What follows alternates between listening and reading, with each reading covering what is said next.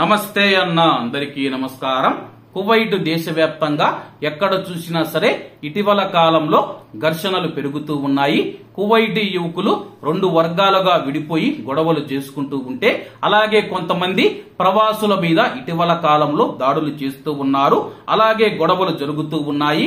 ఎందుకంటే దాడి ఎవరు చేస్తూ ఉన్నారో ఎందుకు గొడవలు పడుతూ ఉన్నారో అర్థం కాని పరిస్థితి నెలకొందని చెప్పి స్థానిక మీడియా పేర్కొంది. తాజాగా సబాహియాలోని ఒక అసోసియేషన్లో ఒక పరిస్థితి కారణంగా గుర్తు తెలియని వ్యక్తి వెనక నుంచి వచ్చి ఒక ఆసియా ప్రవాస వ్యక్తిని కొట్టడం ప్రారంభించాడని చెప్పి అలాగే ఒక ప్రవాస వ్యక్తికి ఏం జరుగుతుందో అర్థం కావడం లేదు. అలాగే అతను రక్షణ పొందేందుకు అతన్ని అతను రక్షించుకుంటూ ఉన్నాడని చెప్పి అలాగే ఒక గుర్తు తెలియని వ్యక్తి మనం చూసుకుంటే ఆ యొక్క గొడవలో ఒక్కసారిగా కత్తి తీసుకొని ప్రవాస వ్యక్తిని పొడి చేశాడని చెప్పి ఆ తర్వాత అక్కడి నుంచి పారిపోయాడు. అలాగే అక్కడ ఉన్న స్థానికులు పోలీసులకు సమాచారం ఇవ్వడంతో సంఘటనా స్థలానికి చేరుకున్న పోలీసులు ఆ యొక్క ప్రవాస వ్యక్తిని ఆసుపత్రికి తరలించి ప్రస్తుతం అతను చికిత్స పొందుతూ ఉన్నాడు. అలాగే అతను ఆరోగ్యంగా తిరిగి రావాలని చెప్పి మనమందరం కోరుకుందామన్నా. అలాగే ప్రస్తుతం కువైట్లో మనం చూసుకుంటే ఏ ఒక చిన్న గొడవ జరిగినా సరే చాలా మంది పగ పెంచుకుంటూ ఉన్నారు.